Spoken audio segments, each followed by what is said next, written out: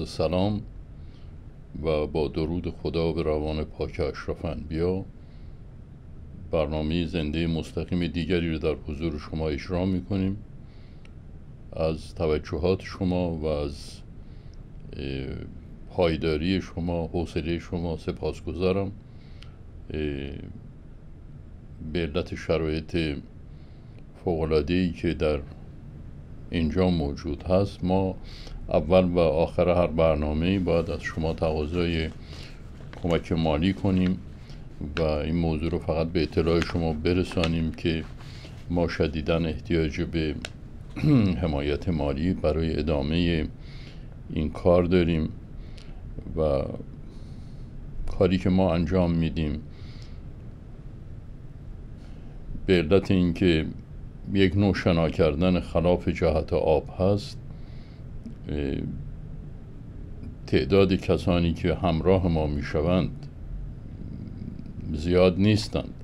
ولی شنونده های ما البته بیننده های ما خیلی زیاد هستند. ولی مسلما وقتی که شما در صدد ایجاد تغییرات در باور افراد هستید و نوعی اصلاح به وسیله قرآن مورد نظر شماست تفاوت عقیده ایجاد میشه و کسانی که در عقاید متفاوت قرار دارن طبعا این احساس رو نمی کنند که باید به این حرکت کمک کنند برای اون تعدادی از افراد که این راه رو میپسندند و میپذیرند برای اونها وظیفه سنگینی هست چون تعدادشون خیلی نیست و اینها تا به اون تعداد زیاد برسند که همراه بشوند بایستی که همراهی خودشون رو بیشتر کنند تا اصلاح دین به وسیله قرآن بهتر انجام بشود.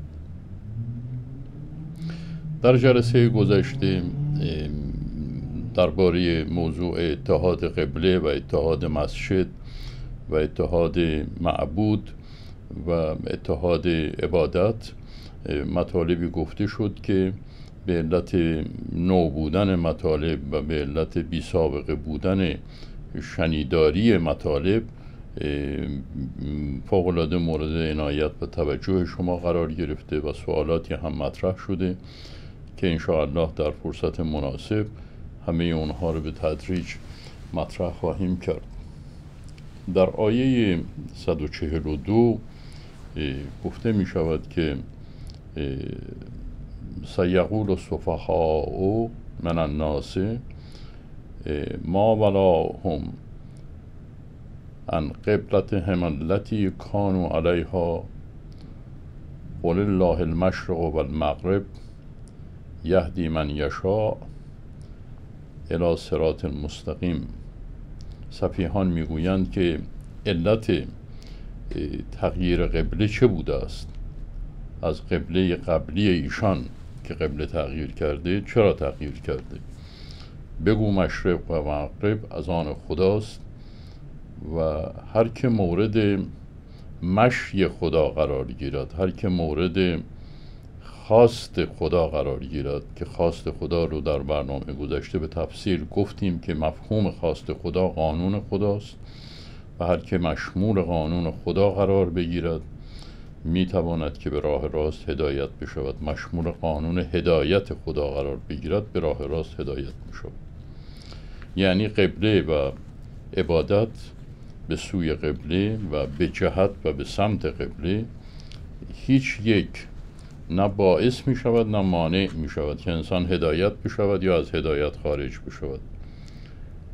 یعنی در واقع در اینجا قبله و به سوی یک جهت ایستادن بیشتر جنبه اجتماعی و جنبه ایجاد یک جامعه متمدن و منضبط داره تا اینکه موضوع قبولی یا عدم قبول عبادت باشه.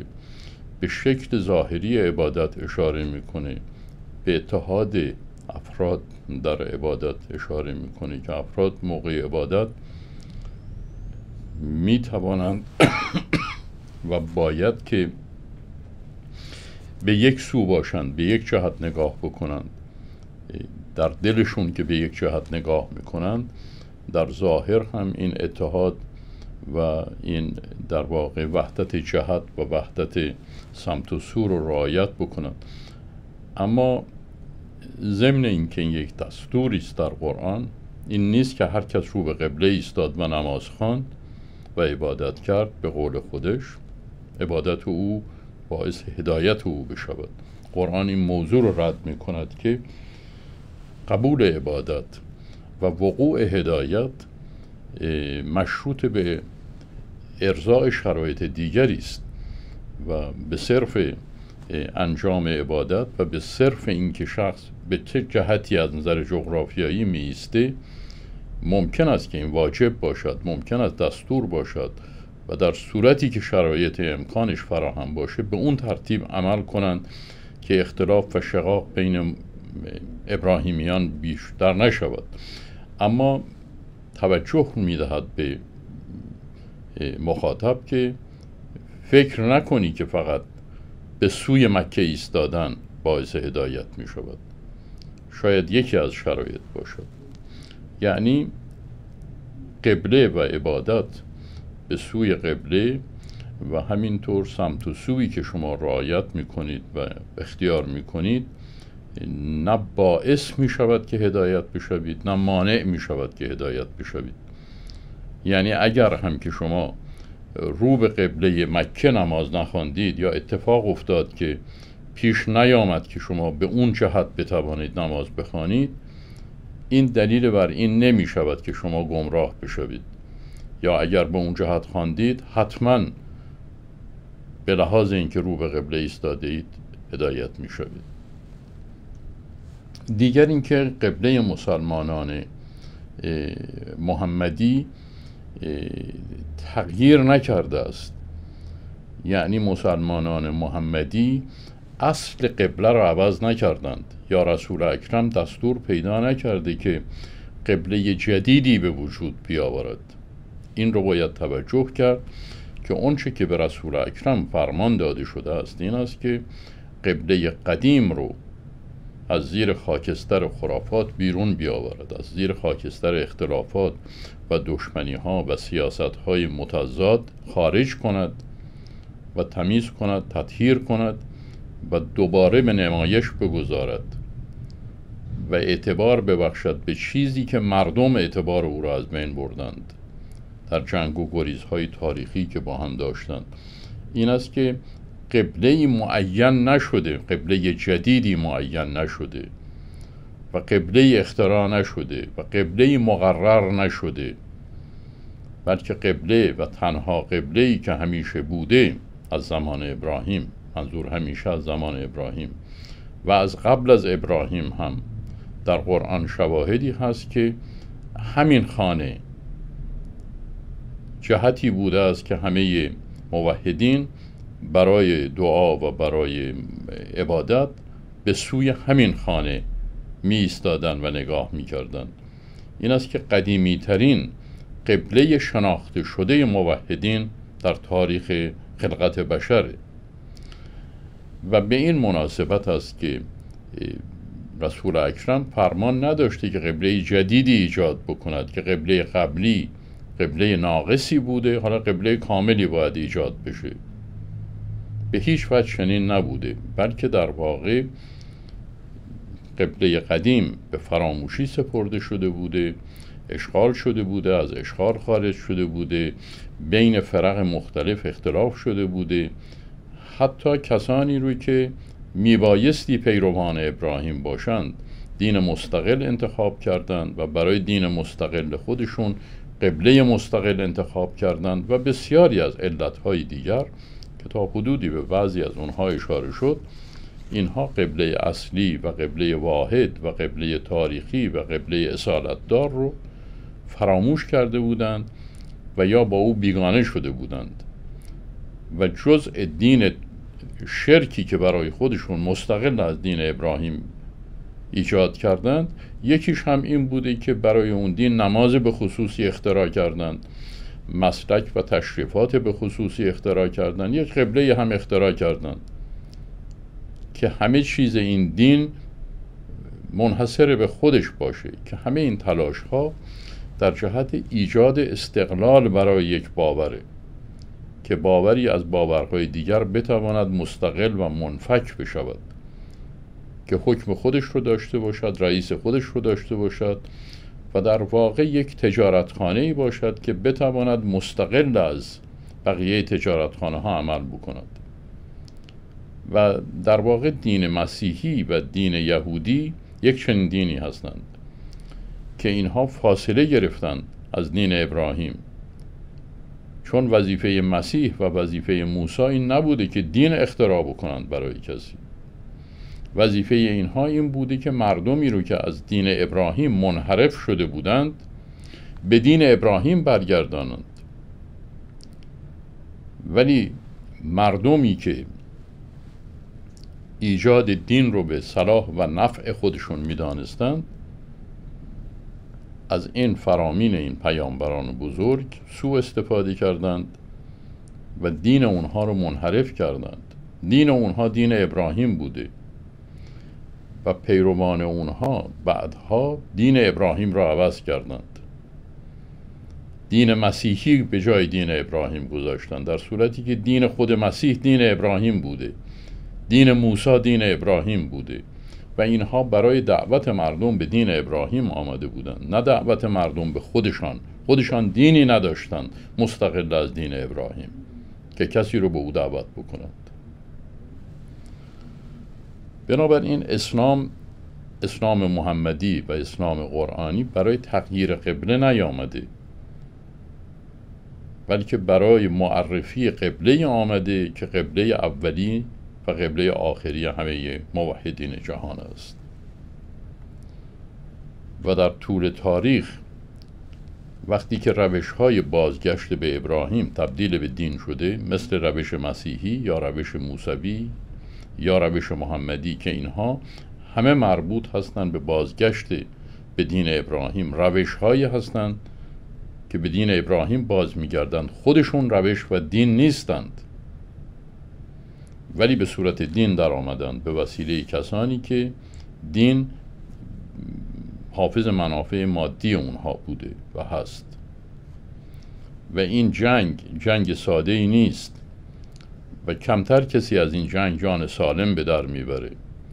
کسانی که بخواهند اعلام بکنند امروز به مسیحی به یهودی و به مسلمان تاریخی که این باورهای شما هیچ کدام دین نیست و به محض اینکه شما بگویید که این باور من دین است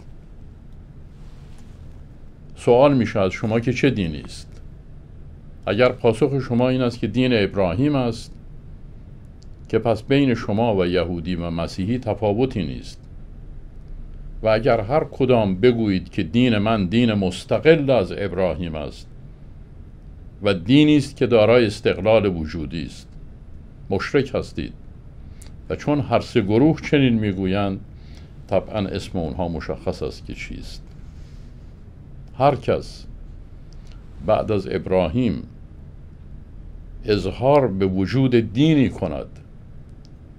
که متفاوت از دین ابراهیم باشد مشرک است. بر اساس این آیه های قرآن. پس قبله مسلمانان رو اسلام و قرآن تغییر نداده بلکه مسلمان به معنای تسلیم شده به امر خدا همه باورمندان به دین ابراهیم باید باشند که در زمان معاصر با ظهور اسلام اسلام همه اونها رو دعوت می کند که برگردید به قبله ای که داشتید. برگردید به قبله ای که داشتید. در واقع مخاطبین مسیحی و مخاطبین یهودی که موحد بودند به اونها قرآن می‌گوید که مراقب باشید مشرک نشوید. دین نسازید. دین شما اگر استقلال دارد دین شرک است. چون شما در کنار خدا قرار گرفته اید و یک دین شما درست کردید یک دین خدا. دین یک دین بیشتر نیست و اون دین ابراهیم است. و شما باید برگردید به آداب ابراهیم برگردید به مناسک ابراهیم برگردید به معبود ابراهیم به مسلای ابراهیم به مقام ابراهیم. و همه اینها خانه کعبه است. باید متوجه اون باشید و خانه کعبه اختصاص به مسلمانان محمدی ندارد. ممکن است که به وسیله مدعیان اسلام تاریخی اشغال شده باشد ولی تعلق به اونها ندارد. خانه کعبه قبله همه موحدین جهان است که دین ابراهیمی دارند. و بعد از دین ابراهیم هیچ دینی دین توحیدی نیست. دین وجود دارد بعد از ابراهیم. همه دین شرک است. اگر از دین ابراهیم متفاوت و متغایر باشد. علت این امر یعنی تغییر قبله به زعم کسانی که اینطور فکر می‌کنند این است که اسلام اسلام قرآنی دین جدید و مستقلی رو بعد از ابراهیم به رسمیت نمی شناسد و همه پیامبران بعد از ابراهیم رو معموران تنویر و تثبیت دین ابراهیمی شناسایی می کند بر این اساس از همه باورمندان مسیحی و یهودی و مسلمان قرآنی دعوت می کند تا به قبله اصلی در دین ابراهیم بازگردند و نوسازی قبله ابراهیم هدف از تعیین و در واقع توضیح درباره دین ابراهیمی است چون در زمان ابراهیم قبله همین قبله بوده است که امروز وجود دارد و در آیات قبلی دیدیم که اینجا محلی است که مقام ابراهیم است مقام تسلیم است اونجا ابراهیم اسلم می شود و اونجا اسماعیل وجود رو قربانی می کند و اونجا مقام ابراهیم تبدیل به مسلا می شود محل سلات گذاشتن می شود و در واقع به صورت سمبولیک و نمادین همه کسانی که دور هم هستند از نظر فاصله جغرافیایی با اون سلات به سوی اون سلات نگاه می کنند یعنی به ابراهیمی نگاه می کنند که اسماعیل خواست و آرمان خودش رو فدا کرد و در راه خدا هرچه تعلق داشت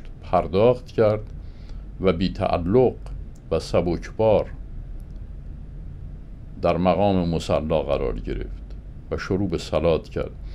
با این فلسفه و با این اندیشه هم در حالت استحکامی و هم در حالت متشابهات و به حالت سمبولیک و نمادین کسانی که ابراهیمی هستند بایستی که همون قبله رو برای سلات حفظ بکنند.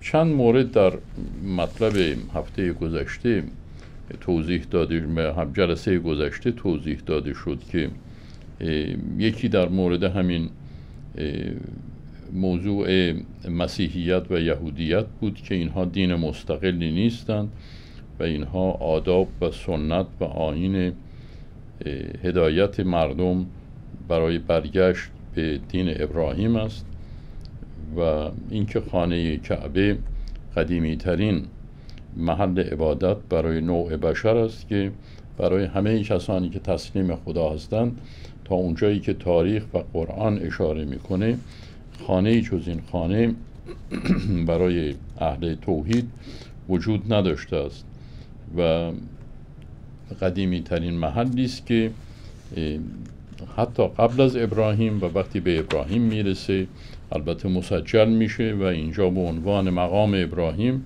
و مسلا برای همه دوران ها قبلگاه موحدین ابراهیمی دنیا تعیین میشه. به همین لحاظ هست که هر کسی که موحد است و هر کسی که معتقد به وحدانیت خداست این خانه کعبه و این سلات مسلا و این مقام ابراهیم کعبه اوست و می‌بینیم که در آیه بعدی به همین کعبه به لحاظ مسلایی که در اوجا وجود داره و مسلا جایی است که انسان به صلات برمیخیزه. به نماز برمیخیزه و در نماز انسان بالاترین تجلیل ها رو از خدا می‌کنه و خودش رو تا حد امکان تحقیر می‌کنه و این تحقیر در مقابل تجلیل در واقع از طریق سجده انجام میشه. این است که به جایی که عبادت می‌کنه انسان و سلات انجام میده اصطلاحا مسجد گفته میشه. مسجد یعنی محل سجده جایی که پیشانی انسان بر خاک اطاعت سایده میشه بر خاک عبادت سایده میشه. و چون این کار به وسیله ابراهیم هم در فعل و هم در سنت انجام می شود هم در فعلیت اسماعیل رو فدا می کند و رها می کند و تعلقات دنیای خودش رو وا می گذارد و هم در عمل پیشانی خودش رو به خاک می ساید است که اون محل مسلا یا مسجد محلی است که سجدگاه است و عبادتگاه است و محل سلات است و از نظر نمادین به این ترتیب فرمان صادر می شود که همه عبادت کنندگان که ابراهیمی هستند این خانه و این محل متعلق به همه اونهاست برای امر عبادت. و به هیچ کس و به هیچ فرد اختصاص ندارد. و هر که موحد است این قبله اوست. حالا کسانی که در زمان ابراهیم بودند که خب رفتند. کسانی که بعد از ابراهیم بودند به وسیله پیامبرانی مثل موسی و عیسی و محمد اینها بازگشت پیدا می‌کنند. به ابراهیم. بنابراین اون خانه خانه همه اونهاست. در هفته گذشته هم اینطور توضیح دادیم که به علت اینکه در زمانهای مختلف خانه کعبه در ادواری از تاریخ تحت اشغال مشرکین و مخالفین قرار گرفته و گفته می شود که در زمانهایی که مکه در اشغال مشرکین بوده موحدین ابراهیمی حالا در قالب یهودی یا در قالب مسیحی اینها مجبور بودند که کعبه دیگری برای خودشون انتخاب بکنند و به این ترتیب آغاز جدال های مختلف بین اینها میشه و قبله های مختلف ایجاد میشه و مبارزات و خصومت های طولانی و تاریخی بین مسیحیت و یهودیت به وجود میاد و در زمانی که این فرمان در قرآن صادر میشه هم اون رفع اختلاف ها میشه و هم زمانی بوده که خب خانه کعبه آزاد شده بوده از مشرکین.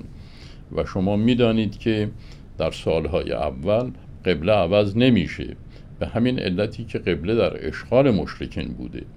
اما وقتی که این اشغال برطرف میشه به نظر می‌رسه که از نظر تاریخی و منطقی این آیه قرآن باید مربوط به زمانی باشد که قبله ابراهیمی از مشرکین آزاد میشه و اشغالگران اخراج میشن و بعد از اون است که همه موحدین جهان به بازگشت به اصیل ترین خانه عبادی جهان دعوت می شوند و به همه عبادت کنندگان گفته می شود که اینجا مسلاست اینجا مسجد است. اینجا محل سجده به درگاه خداست و کسانی که در اینجا نیستند به یاد و به نام سجده کردن به این جهت می ایستند به جهتی که اصلا تسلیم ترین انسان در این محل تسلیم خدا شده سجده کرده و این مقام مقام سجده کردن. مقام ایثار مقام فداکاری مقام جانبازی و مقام پرواز در معراج حق محلی است که نام مسجد قرآن روی او گذاشته و مسجدی که دارای حرمت خاصی است که از همه مساجد دنیا به لحاظ حرمت متفاوته. مسجد الحرام مسجدی که دارای احترام خاصی است. و دارای حرمت و مشخصات و شرایط خاصی است.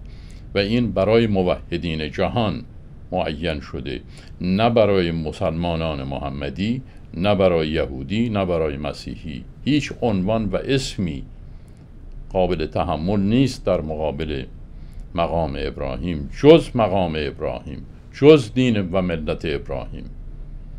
که می‌گویند این یهودی است. یهودی در مقابل خانه خدا نمی‌تواند که دارای توحید باشد. همینطور مسیحی همینطور مسلمان محمدی. مگر اینکه همه اینها بگویند درست است که من از راه محمد آمدم من از راه عیسی آمدم من از راه موسی آمدم ولی مسافر بودم سفر کردم. اینک به مقصد رسیدم و مقصد من ابراهیم است. که از ابراهیم به مصلا بنشینم و از مصلا به خدا متصل بشوم. بنابراین اسلام محمدی و یهودیت و مسیحیت هر نقشی داشتند. نقش اونها در ارائه راه برای برگشت به دین ابراهیم است و نه چیز دیگر. و به این ترتیب در آیه 142 یکی از محکمترین مبانی توحید و یکی از محکمترین علائم توحید در عبادت برای ایجاد اتحاد و همبستگی و مودت بین مؤمنین و مسلمین و موحدین به وجود می آید در آیه شماره 143 که به این ترتیب در جلسه گذشته هم تا حدودی مورد مرور قرار گرفت. در این آیه میفرماید که فکذالک جعلناکم امتا وسطا و به این ترتیب ما همچنان شما را به آین عدالت و وسال دعوت کردیم و قرار دادیم و هدایت کردیم. توجه کنید که در این آیه می‌گوید که ما شما رو قرار دادیم و یا مقرر کردیم قرار گذاشتیم. به این ترتیب ایجاد کردیم. شما رو به امت به نام امت وسط امتی که بتواند که هم در عدالت باشد هم در وصلت باشد. هم در عدالت باشد هم در وصلت باشد. یعنی هم واسطه باشد هم عادل باشد. شما در وسط قرار گرفتید. بین ابراهیم و بین یهود و مسیحی. و شما به عنوان مسلمان محمدی وظیفه دارید که واسطه بشوید و وسیله باشید که هم خودتان به طرف ابراهیم حرکت کنید و هم وسیله حرکت به طرف ابراهیم رو برای یهود و نصارا فراهم کنید. به این ترتیب شما رو امت وسط قرار دادم که هم رعایت عدالت کنید و هم رعایت اتصال و ایجاد اتصال و ارتباط و برگشت به دین ابراهیم. و کذالک جعلناکم امتا وسطا. لتکونو که باشید شهداء شاهدینی تصدیق کنندگانی گواهانی. الناس بر مردم. و یکون رسول علیکم. و پیامبر هم پیامبر رو ما قرار دادیم که تصدیق کننده عمل شما باشه. و شما رو هم تصدیق کننده قرار دادیم برای همه مردم. یعنی در واقع در این سه مرحله ای که سه طبقه قرآن ایجاد کرده است. که شما عملی که انجام می دهید در واقع مصدق امر خدا هستید تصدیق کننده امر خدا هستید و نشان دهنده امر خدا هستید. یعنی همه مردم شاهدن بر شما. لازم نیست که شما حرف بزنید. تبلیغ کنید. مردم شاهد هستند که دین شما دین ابراهیم است. و در واقع شما با عمل با عمل امت وسط هستید. امتی هستید که بر اساس عدالت هستید و امتی هستید که واسطه می شوید که همه کسانی که پراکنده و پریشان شدند به سامان بازگردند. عمل شما عملی است که موجب اتحاد و موجب اتصال و موجب عودت و ارجاع به دین ابراهیم می شود. امت وسط هستید. این امت وسط بودن و واسطه بودن و عملا به طرف ابراهیم در حال حرکت بودن و دین ابراهیم را عرضه کردن. مورد شهادت و مورد تصدیق و مورد اطلاع و معرفت و عنایت مردم قرار می‌گیره و مردم می‌فهمند و می‌بینند و میآموزند و اعتماد می‌کنند به روش شما که روش مستقل از ابراهیم نیست که روش برگشت به ابراهیم است. اون وقت می‌گوییم که پیش خودمون این سوال پیش میاد که خب این رفتار و اعمالی که من دارم که دیگران شاهد بر این اعمال هستند و بر اساس این اعمال من اون چرا که مشاهده می‌کنند در من حرکتی که به طرف ابراهیم است تایید می کنند و تصدیق می کنند و شاهد هستند. چه کسی باید شاهد من باشد؟ چه کسی باید معلم من باشد؟ من که موجب هدایت دیگران می شوم چه کسی منو هدایت می کند اون وقت می گوید که پیامبر از قرآن و آیات الهی در واقع تو رو هدایت می کند و شاهدی است بر اعمال تو. چطور شاهد است؟ هر عملی که شما انجام می‌دید با قرآن تطبیق می‌کنید. به این ترتیب قرآن شاهد عمل شما میشه. مثلا قرآن گفته انفاق کنید. ما سرقت می‌کنیم به جای انفاق. بعد می‌گوییم به قرآن که تو شاهد عمل ما باش. قرآن گویاست. قرآن رو که می‌خوانیم مفهوم انفاق رو که درک می‌کنیم می‌فهمیم که این عمل ما سرقت است.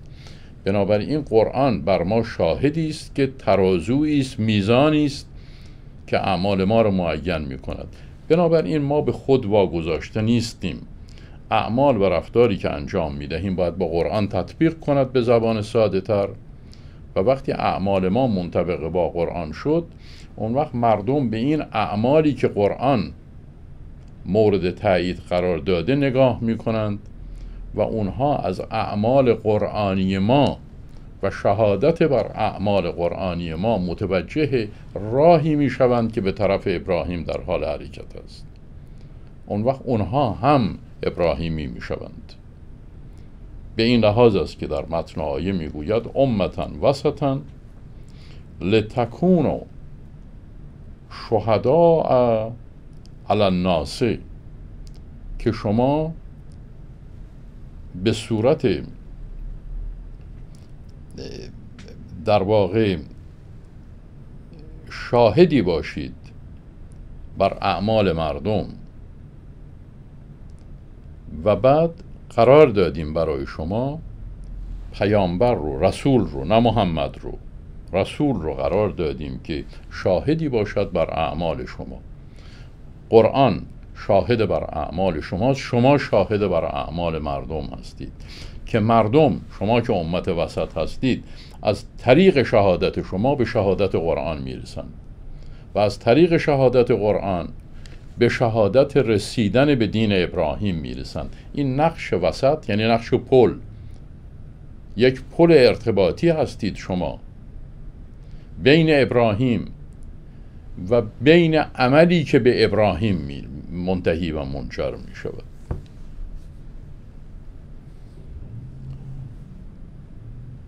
و بعد ادامه می دهد که و یکون رسولو علیکم. شهیدا. مرد شما رو شهید قرار دادیم. بر مردم و پیامبر رو شهید قرار دادیم بر شما. یک تفاوتی بین شهید و شاهد هست. اولا جمع هر دو هم جمع شهید و هم جمع شاهد. در زبان عربی شهدا میشه. ولی ما در این قسمت اول اتاق فرمان اگر که این آیه را نشان بدید و اگر فعلا سیستم ما اینطور نیست که ما بتوانیم که علامت گذاری کنیم و بعضی از حروف رو به اصطلاح روشنتر یا بزرگتر نشان بدهیم. ولی به هر حال شما در این آیه در بعد از اینکه می‌گوید و کذالک جعلناکم امتا وسطا لتکونوا شهداء در اینجا شهدا جمع هم شاهد است هم جمع شهید. ولی ما نمی‌دانیم کدام است. ادامه می‌دهیم تا بفهمیم کدام است. الناس و یکون رسول علیکم. و پیامبر رو هم قرار دادیم بر شما شهیدن. پس شما جمع شهید بودید و پیامبر مفرد شهید. پس شاهد نیست در اینجا. شهدا هم جمع شهید است و شهید هم مفرد شهید است. و بعد از این به این نتیجه می رسیم که موضوع شاهد بودن به این معناست که شما بر امری که واقع می شود مشاهد هستید شاهد هستید و نگاه می کنید مشاهده می کنید می فهمید اما هیچ ارتباطی این با مردم نداره. می‌گوید خدا شما رو شاهد قرار داده. بر چی شاهد قرار داده؟ چه ارتباطی داره به برگشت به ابراهیم؟ خدا شما رو شاهد قرار داده بر رفتار مردم. یعنی شما مشاهده می‌کنید که این آقا بت پرسته خب چه ربطی داره؟ این شاهد بودن شما چطور می‌تونه که اون بت پرست رو به ابراهیم هدایت بکنه؟ شما شاهد او هستید. او که شاهد شما نیست. بنابراین هیچ پل ارتباطی برقرار نمیشه. شما امت وسط نمیشید. شما امت واسطه نمیشید. وسط یعنی نیکوکار واسطه عادل واسطه. شما اون نیستید. شما رفتار مردم رو می‌بینید که شاهد هستید بر مردم. خیلی خوب. پیامبرم شاهده بر شما. هیچ مفهومی نمی‌دهد. مگر اینکه به قرآن دقت کنید. اولا اون شهدا رو ما می‌فهمیم که اسم جمع از لغت بعدی که در قرآن آمده می‌فهمیم که اون جمع جمع این مفرده جنسشون یکیه. هر شاهدی نمی‌تواند شهید باشد. اگر شاهد شهید باشد اسم شهید می‌گیرد. شاهد یعنی شاهد. شاهد یعنی بیننده مشاهده کننده کسی که یک چیزی رو مورد شهود قرار می‌دهد مورد مشاهده قرار می‌دهد. به همین جا تمام می شود شهید که ما معمولا به نام مرده از اون نام می‌بریم از اختراعاتی است که به ما یاد دادن که ما چطور واژه ها رو غلط بخوانیم و غلط معنی بکنیم که نهایت امر یک شیوه جدیدی رو پایگذاری بکند. که خرافه و خشونت در او باشد. اسم شهید رو با اسم مرده در کنار هم می‌گذاریم و فکر می‌کنیم که ما تا نمیریم شهید نمی‌شویم. در صورتی که شهادت به هیچ عنوان ارتباطی با مردن ندارد. عرض خواهم کرد که چرا به افرادی که از این دنیا رفتند و جان باختند و جان بازی کردند شهید می‌گویند؟ اما شهید لازم نیست که بمیرد تا شهید شود. در این آیه مفهوم لغوی شهید و شاهد رو عرض می کنم که شاهد عبارت است از بیننده از رویت کننده از شاهد از مشاهده کننده.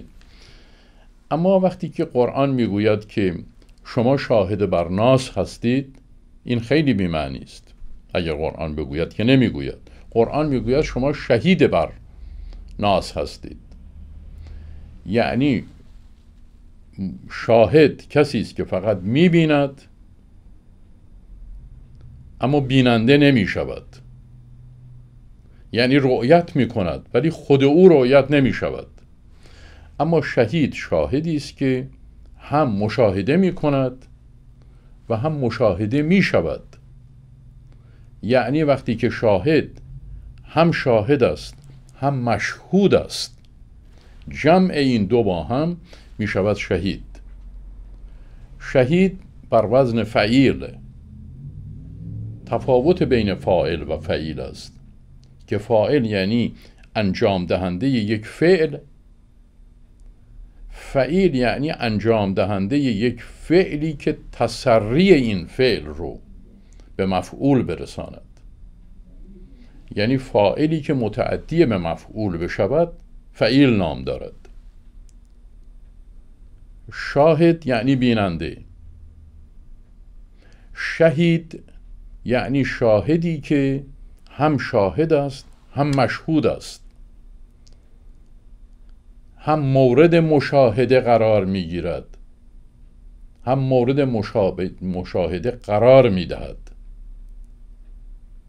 یعنی اگر در بود عرفانی حالا بخوایم یک کمی این رو معنی بکنیم شاهد کسی است که فرض بفرمایید که معرفت به خدا داره و آثار خدا رو مشاهده می‌کنه. مثلا یکی از آثار خدا جهاد در راه حقیقته کسی می‌بینید که به درجه ایثار می‌رسه. یعنی از خدا به نحوی تبعیت می‌کنه که اثر به خودش به جا می‌گذاره. یعنی همون اثری رو به جا می‌گذاره که خدا به جا می‌گذاره. یعنی در آثار با خدا هم شکل میشه نه در ذات. اثرش مطابق اثر خدا میشه. مثلا در داستان هایی که درباره شهدا می‌گویند درباره فرزن درباره سید شهدا می‌گویند درباره امام حسین می‌گویند. به او می‌گویند که سار الله سار الله به این معنا نیست که او خون خدا باشد. چون یکی از معانی سار خون است ولی اثر خون هست نه خود خون. یعنی این با خون خودش این فرد. با خون خودش یک اثری به جا گذاشته. که کسانی که شاهد اثر خدا هستند می توانند که شاهد اثر این عمل او باشند. شاهد جهاد او باشند. شاهد فعل او باشند. بنابراین فعل او مشهود مردم می شود. یعنی با نگاه کردن به اثر کار او. شاهد بر مشهود او می شوند و خود او هم شاهد است شاهد معرفت خداست و هم به جا گذارنده مشهود است که دیگران در او معرفت خدا رو مشاهده می کنند خود او شاهد است. خود او هم مشهود است. به عبارتی دیگر او خدا رو می بیند و دیگران خدا را در او می‌بینند. واژه شهید یکی از عجیبترین و یکی از حیرت آورترین واژه است که در زبان عربی به کار میره. که در واقع این موضوع وسط بودن و موضوع واسطه بودن یعنی دو قطب رو به هم وصل می‌کنه. یعنی در تعبیراتی که به صورت عرفانی در این کار انجام میده. مثلا رقص هایی که یا سماعی که مولویه انجام میدن اهل تصوف و دراویش مولوی انجام می‌دهند به تبعیت از مولانا. اینها می‌بینید که یک دستشون رو موقعی چرخیدن و موقع حرکات عبادی توأم با حرکات بدن یک دستشون رو اینطور نگه میدارند به سوی یونیورس به سوی کائنات که در واقع دریافت انرژی می‌کنند. با این دستشون که اینطور بالا می‌برن و با دست دیگری که به طرف زمین کف دستشون رو به طرف زمین می‌کنن در واقع با این شکلی که عمل می‌کنن از یک طرف انرژی از کائنات عالم ممکنات یونیورس دریافت می‌کنند و از طریق خودشون با این دست به زمین اون انرژی رو تحویل میدن.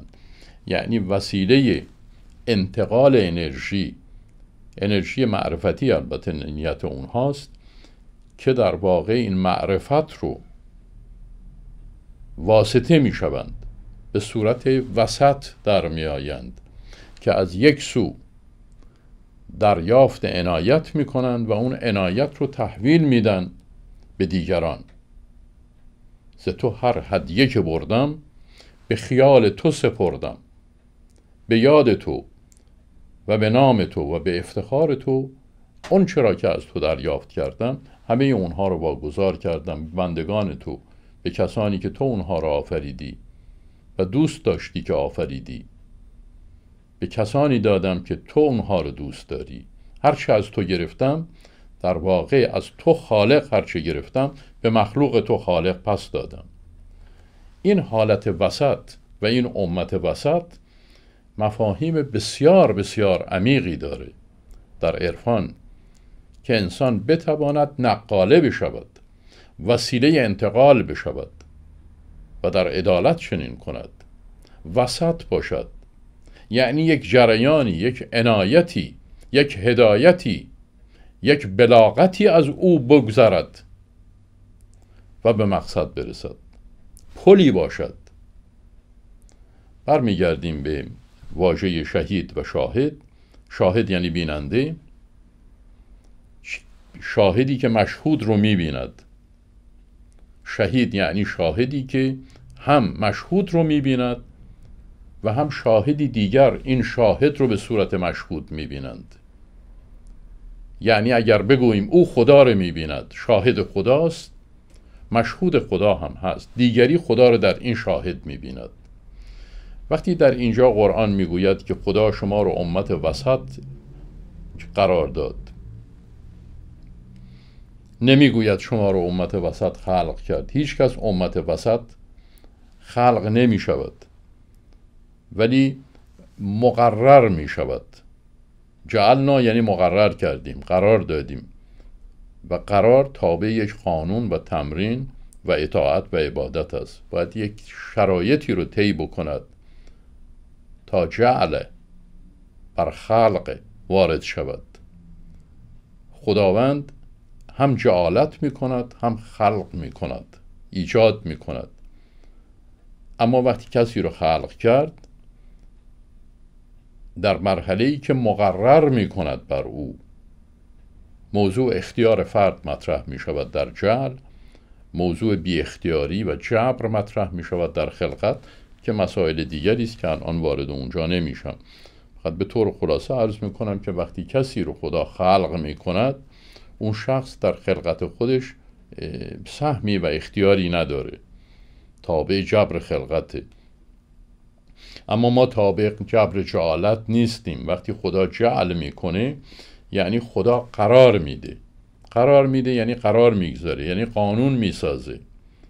یعنی مقررات ایجاد می‌کنه. ما مقرر و قرار که میگیم خوب معنیش رو نمی‌فهمیم. مقررات که میگیم که جمع مفعول همون هست خوبتر می‌فهمیم. خدا مقررات طب با مقررات خلقت خودش رو تبدیل می‌کنه به چیز بهتر. و کاملتری. اما در مقرر کردن و قرار گذاشتن یک سری قوانینی میاد که اونها با اختیار ما کار داره. یعنی ما با جبر خلقت میشیم با اختیار جعالت میشیم. و جعل ما در این آیه به هر حال می‌گوید که و کذالک جعلناکم و به این ترتیب شما رو قرار دادیم. قرار دادیم یعنی تحت تربیت قرار دادیم. و یک مشخصاتی برای شما معین کردیم که این کارها رو بکنید تا به اینجا برسیم. وقتی که در آیه دیگری می‌گوید که انی جا... که در من مشغول هستم که جعل بکنم یک خلیفه روی زمین نه اینکه همه انسان ها خلیفه خدا روی زمین باشند بلکه همه انسان ها استعداد این رو دارند که مورد جعالت قرار بگیرند. اون مقررات رو بپذیرند و در واقع شامل بکنند اون مقررات رو به خودشون و صلاحیت احراز بکنند تا تبدیل به خلیفه بشند. یک نوع تبدیل و تحول در موضوع جاهلیت مطرحه که در اینجا هم به همون اشاره می کند قرار دادیم شما رو. یعنی از اول اینطور نبودید. یک تعالیمی یک تربیت هایی یک شرایطی مهیا و فراهم کردیم که شما با اختیار اون شرایط ها رو شرایط رو تمکین کردید و در اثر تمکین اون شرایط توانستید که به درجه برسید که مقامی که به شما دادم شما رو قرار دادم امت وسط. شما رو به عنوان یک میدیوم قرار دادم. شما رو به عنوان واسطه قرار دادم. شما رو به عنوان پل هدایت قرار دادم. شما رو به عنوان پل تعلیم و تربیت و معرفت و نمایش قرار دادم. شما رو به صورت پلی قرار دادم که هم این پل خدا رو می‌بینه این پلی که آفریدم ایجاد کردم. این پل هم می‌تواند دریا رو ببیند هم مردم می‌توانند دریا رو در این پل ببینند. شما رو آینه ای کردم که هم آینه بتواند خورشید رو ببیند و هم دیگران در آینه خورشید رو ببینند.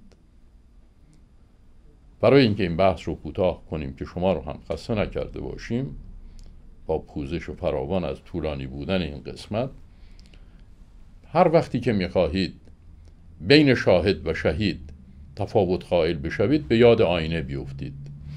به یاد آب آینه بیفتید. یا آینه آب بیفتید. چیزی که سیغلی است و چیزی که منعکس کننده تجلی یک موضوع یا یک امر است. شما به یک آینه نگاه بکنید در مقابل خورشید. این آینه خود شاهد است. چرا؟ مشغول مشاهده خورشید است. بنابراین این, خور... این آینه مشاهد خورشید است. شاهد خورشید است. خورشید رو می‌بینه آینه. اما مشهود هم هست. مشهود کی؟ مشهود من. یعنی من که الان در یک اتاقی نشستم خورشید رو نمی بینم یک آینه با زاویه 45 درجه در این اتاق می‌گذارن که از بیرون خورشید روی این آینه منعکس میشه. حالا من در این اتاق نشستم خورشید هم بیرون این اتاق هست. من خورشید رو نمی بینم اما این آینه خورشید رو می‌بینه. چون رو به خورشیده. و عکس خورشید رو دریافت می‌کنه و در قالب مثال عرض می‌کنم که این آینه خورشید رو نگاه می‌کنه خورشید رو می‌بینه. بنابراین این آینه شاهد است خورشید مشهود است. من به آینه نگاه می‌کنم. من که خورشید رو نمی‌بینم.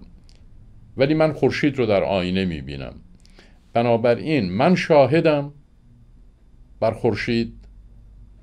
این آینه که خودش شاهد بر خورشید است مشهود خورشید هم هست. یعنی من خورشید رو نمی‌بینم اما خورشید رو در این شاهد می‌بینم. به ترکیب شاهد و مشهود در اصطلاح قرآنی و قرآن بسیار استفاده می‌کنه از این موضوع. و خیلی خوب است که ما به صورت جامع هر وقتی که نگاه می‌کنیم شاهد رو و هر وقت نگاه می‌کنیم شهید رو در قرآن یاد این داستان و یاد این تذکرات بیفتید و اگر هنوز هم من در خاطر شما بودم برای من هم یک دعای خیری روان کنید. و کذالک جعلناکم امتا وسطا. لتکون شهداء علی الناس و یکون رسول علیکم شهیدن شما رو شهید بر مردم قرار دادیم و پیامبر و شهید بر شما. که هم شاهد کارهای شما باشه و هم شما فرمان خدا رو در پیامبر ببینید. مشهود آیات خدا باشه پیامبر. وقتی به پیامبر نگاه می‌کنید وقتی به تلاوت پیامبر نگاه می‌کنید وقتی به رسالت پیامبر نگاه می‌کنید پیامبر هم شاهده. شاهد بر کیست؟ شاهد بر خداست. همینطور شاهد بر شماست. بر چه چیز خدا شاهد است پیامبر؟ بر جمع جمعی آیات خدا. اگر شاهد نمی بود که نمی توانست تلاوت کند. پس معرفت شهودی دارد پیامبر با آیات خدا که همونها رو بیان می کند. پس پیامبر شاهد آیات خداست و شاهد اعمال شماست. و در عین حال همین پیامبری که شاهد آیات خداست مشهود آیات خدا هم هست. یعنی شما وقتی که به پیامبر به دهان پیامبر نگاه می کنید مشهود می شود آیاتی که او شاهد اون آیات است. و به این ترتیب می‌گوید هم شما شهید بر ناس هستید و هم پیامبر شهید بر شماست که عبارت از این زیباتر و از این جامعتر و از این حیرت آورتر نمی شود و کذالک جعلناکم امتا وسطا لتکون شهداء علی الناس و یکون الرسول علیکم شهیدا. و بعد اضافه می کند که و ما جعلنا قبلت التي كنت علیها الا لنعلم من یتبع الرسول من ینقلب على عقبه و ان کانت لکبیرتا الا علی الذین هد الله و ما کان الله لیضیع ایمانکم ان الله بالناس رؤوف الرحیم.